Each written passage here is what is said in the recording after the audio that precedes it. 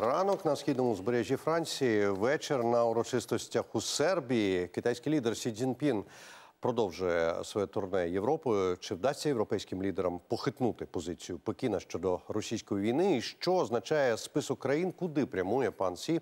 Про це розкаже наша кореспондентка Світлана Чернецька. Париж перша європейська столиця на шляху китайського лідера. Тут Сі Цзіньпін зустрівся із президентом Еммануелем Макроном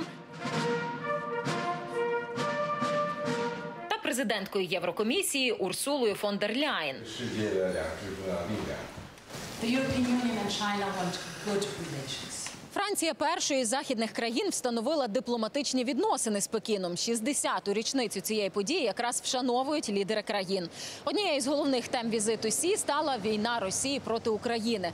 Китай досі не підтвердив свою участь у мирному саміті у Швейцарії всередині червня. І, попри нібито нейтральну позицію війні, продовжує нарощувати економічну співпрацю з Москвою. У Пентагоні стверджують, Китай надає безпілотні і ракетні технології, електроніку, верстати та супутникові знімки.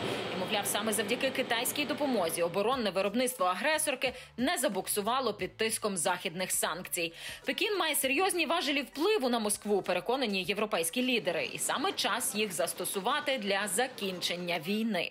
Ми розраховуємо, що Китай використає весь свій вплив на Росію, щоб припинити її загарбницьку війну проти України.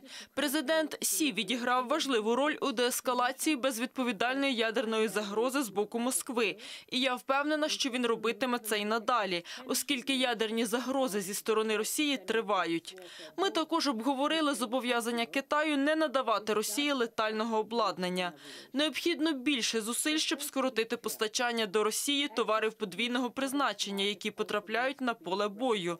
Адже враховуючи екзистенційний характер загроз, які випливають із цієї війни і для України, і для Європи, це впливає на відносини ЄС із Китаєм. Але це не вперше, коли лідери ЄС тиснуть на Сі Цзіньпіна щодо Росії. Сам Макрон був у Пекіні у листопаді. А минулого місяця до Китаю з українським питанням приїжджав німецький канцлер Шольц.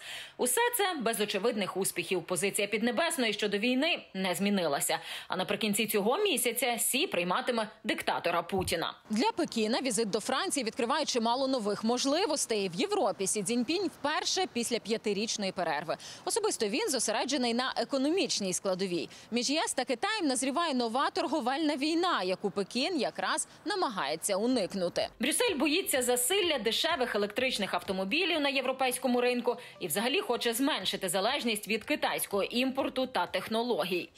Китай усвідомлює, що його внутрішня економіка нині в складній ситуації. Отже, він хоче зробити все, щоб наростити зовнішню торгівлю та пожвавити експорт. І, звичайно, намагається отримати опорний пункт в Європі. Тим паче, що ми знаємо, що відносини США з Європою зараз не найкращі, і Пекін намагається заповнити прогалину на свою користь. Для Франції ж цей візит і ще одна демонстрація посилення лідерства в ЄС. Президент Макрон кардинально змінив свій підхід до Москви. На початку війни він намагався говорити та навіть зустрічатися із Путіном. Закликав не принижувати росіян та утримувати Москву в міжнародному партнерстві. Але тепер французький лідер погрожує веденням в Україну західних військ та наполягає, що ЄС має знайти можливості забезпечувати усі військові потреби Києва, не покладаючись на підтримку США. Макрон виступає таким собі стратегічним мислителем, який знаходить нові ідеї і має сміливість їх пропонувати. Це ідеї щодо того, як позиціонувати захід відносно Росії, відносно Китаю. Якщо ми хочемо знайти шлях, як закінчити війну в Європі, то щось мусить змінитися, і це щось не Україна має скласти зброю, а повинна збільшитись допомога заходу. Я не кажу, що Макрон має рацію щодо кожної пропозиції, але принаймні він сміливо говорить про нові підходи, коли ніхто із західних лідерів взагалі нічого нового не пропонує.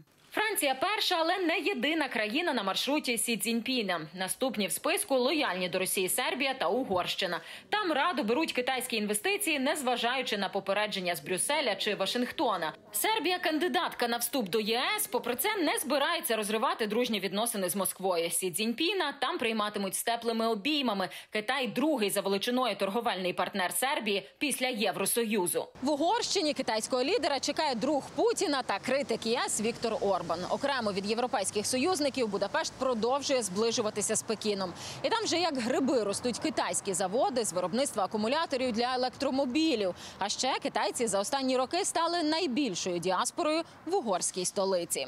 Світлана Чернецька, Юрій Романюк. Подробиці, телеканал Інтер, марафон. Єдині новини.